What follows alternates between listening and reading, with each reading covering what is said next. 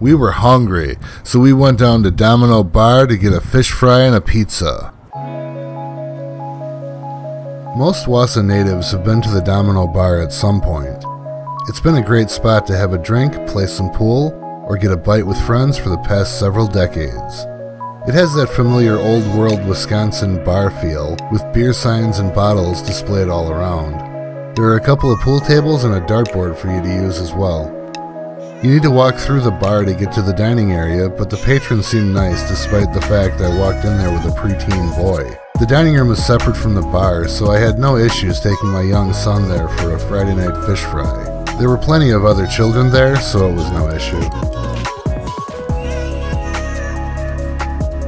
We had to start with an order of deep fried cheese curds. While the curds were on the small side, there were plenty of them, served with ranch dressing on the side. The yeasty taste of the batter opposed the fresh white cheddar cheese inside to make a good representation of this classic Wisconsin treat. I would have preferred they be a little crispier though. We went through them pretty quick, just in time for the food to arrive.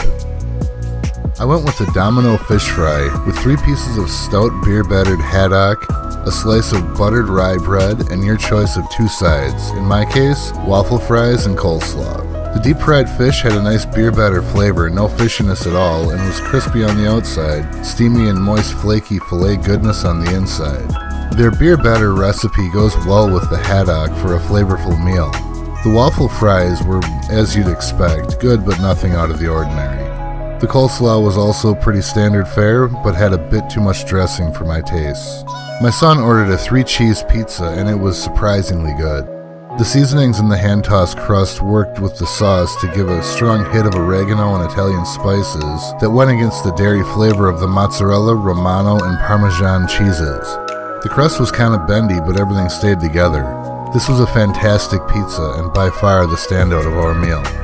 The price was fair, the food was good, and the staff was friendly and present, but the dining area could use a little more flair with some lighting and decor to make it a better dining experience.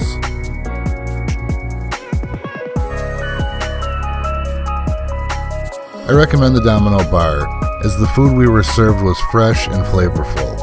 But do yourself a favor and try the pizza, it was exceptional.